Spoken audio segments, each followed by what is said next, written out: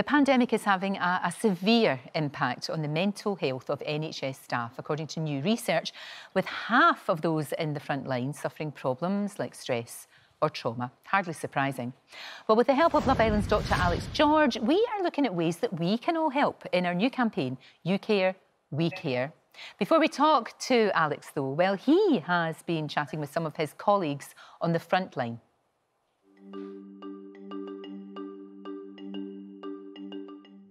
Hello everyone, you join me here at Lewisham Hospital in the resus department at the start of my shift. We are expecting, of course, that things are going to get busy, but while it's quiet, I thought I'd take a moment to speak to some of my colleagues and get kind of an insight into what the mental health aspects of this pandemic are for staff. I'm taking a lot of um, comfort in talking to colleagues about it every day.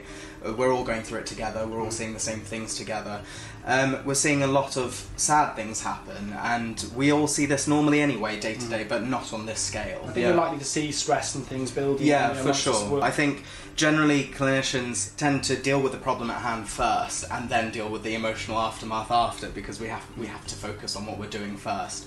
Um, and I can definitely see how this would probably build up for a lot of people um, across the spectrum of healthcare workers and people in society who are also key workers who aren't necessarily healthcare workers. I think the patients, particularly the resus cases, which we're getting in, which tend to be the patients that are more unwell, um, we're not able to get family members in, which we would usually. So when they are obviously scared and um, in a time where they're not used to being very very sick they're, we're not able to have that sort of face-to-face connection with them and also um, they're not able to be surrounded themselves by their family members, which I think makes it much more difficult. I agree. Some of the things that personally for myself that I've seen, I will remember for my lifetime really, and it's been really difficult. Of course, we do see how you know difficult things in A and E, but it's the volume of unwell patients that's been really upsetting. As nurses, you're used to caring for patients and providing you know the emotional support as well to families there's an element that's kind of pulled back a bit, isn't it? Because of the PPE and the gowns, the restrictions in terms of visiting. How much does that affect you, you know, in, in your mental health? For me, I always look um,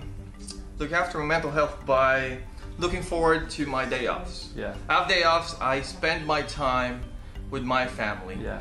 And I have a habit of waking up early. I have yeah. a list of the things that I uh, I am thankful of. Yeah. It says that um, if you trade your expectations with your appreciations, you're always going to be happy. Having talked to my colleagues, my, my friends in, in, in the hospital, both doctors and nurses, it's been really interesting to get an insight to their perspective. It's so, so important, however, that we do support staff across the NHS in what is going to be uh, a difficult few months and years ahead. You know, with everything that we experience, mental health is so, so important, and looking after our staff on the front line is vital. Well, Dr. Alex joins me now. Thank you for doing that for us. It's a real insight and so interesting to hear all of you talking together because it is tough physically. We've seen that, you know, you've seen when you wear the gear and you're all bruised and it's tough, mm. really hard, long shifts, but mentally too. Yeah, absolutely. Thanks for having me again on the show. It's nice to speak to you both. Um, it, I think it was really interesting to speak to various staff members and really ask them how they're feeling and how they're coping. And I, I think what I felt and the feedback I kind of got was you really get ups and downs. You know, you experience certain things, you see certain things, and it really affects you. Um, and you know, you have good days and, and bad days, but ultimately, um, it's the kind of seeing these things day in day out that I think you know can have an impact on uh, on your mental health as well as your uh, uh, physical health as well, and it's something we really need to recognise and make sure you know we look after our staff properly. So how are you doing? Because you need to talk about these things, don't you? And I know that you you talk to your colleagues, but oftentimes you just don't have the time to do that. Is there mm. somebody that you have got that you can speak to um, and just basically, you know, offload? Yeah, I mean there have been some difficult um, times. I'm very, I'm quite open with things, and there's been days that I've been kind of, you know, like very upset and kind of in tears with some stuff we've seen, you know, and that's being completely honest. Um, you know, and I'm quite open to speak to my colleagues at work. We've got a wellness room, which actually we um, can kind of go to. We've seen something very difficult, and I'd have time, a little bit of time alone, uh, or speak to um, you know a colleague or a friend, and, and and kind of go through what you're experiencing. Family are very important too. Um, my girlfriend's been amazing. I've spoken to her um, about certain things as well, and kind of shared some of that um, you know, kind of stress and uh, you know emotion as well. But I must say that you know there's a real positive side as well. You know, at work we do really stick together. We're as positive as we can be, and uh, and the patients are fantastic too because they actually provide us support in a lot of ways as well. And the way that they're so you know grateful of our help and that you know they try and bring their you know warmth even in difficult times as well is, is actually really inspiring. No, that's true. And then I suppose when when you do see people getting better, you know, because uh, unfortunately we do tend to focus on, you know, the, the very sad aspects of people being incredibly mm. ill or even dying. Mm. But when you see somebody getting better and you nurse them back to health, that there can't be a feeling like it.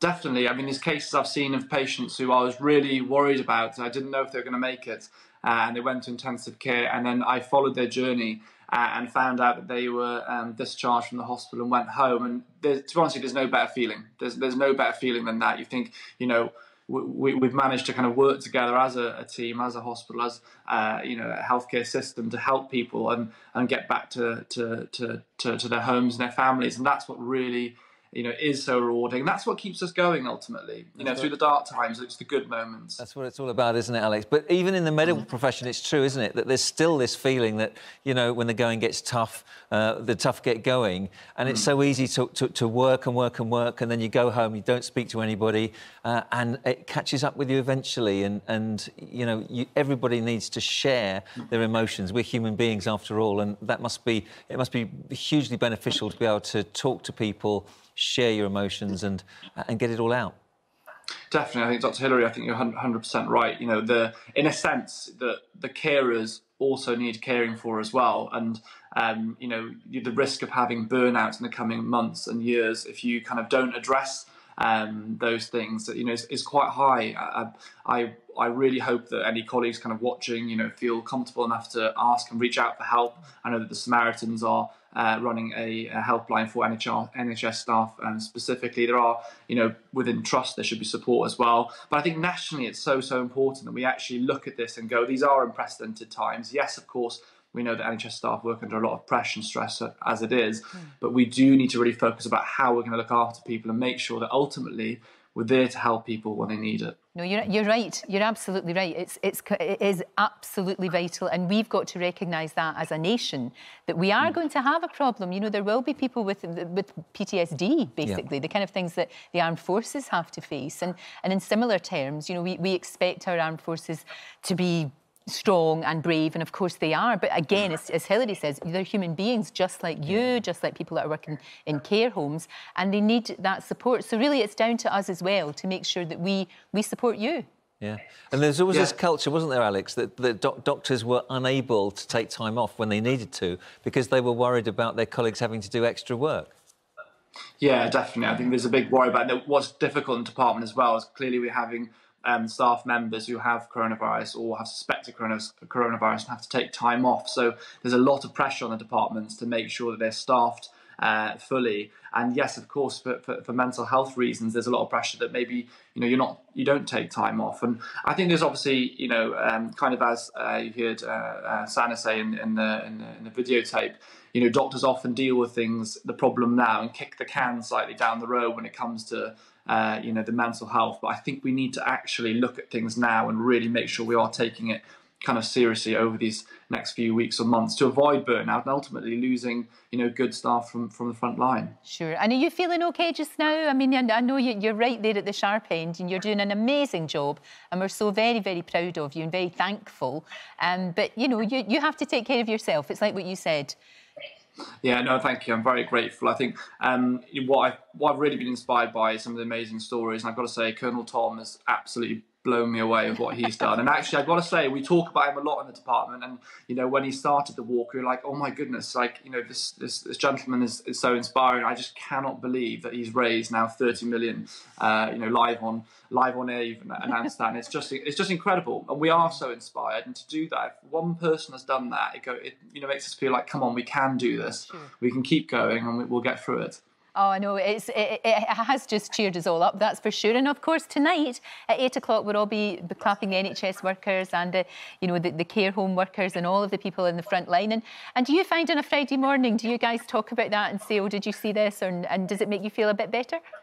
Oh, definitely. I mean, I, I was on shift uh, two weeks ago, and um, we just popped out to see the the clap outside. The police were, were clapping and, and distancing, etc. But clapping, and it it really I was like choking up. I was like, this is you know this is such a, an incredible feeling. I think I can't under under or over exaggerate how much um, a difference it really makes to have you know the country behind us, everyone kind of pulling together the support. You know in different sectors within the hospital and outside the hospital as well. It's been uh, remarkable, and I think we are in this together as a nation, and we'll get through it together as a nation. Well, we will, and we've got people like you. Thank you so much for Thank joining you. us. Really appreciate it. We'll talk to you real soon. Stay safe. Thank you Alex. both. Thank you. Take Take care. care. What a smashing young man. He is. He really is. And he's doing a great job oh, there. he's He doing really a is. tremendous Really, job. really and is. we'll put lots of information about looking after your mental health on our website.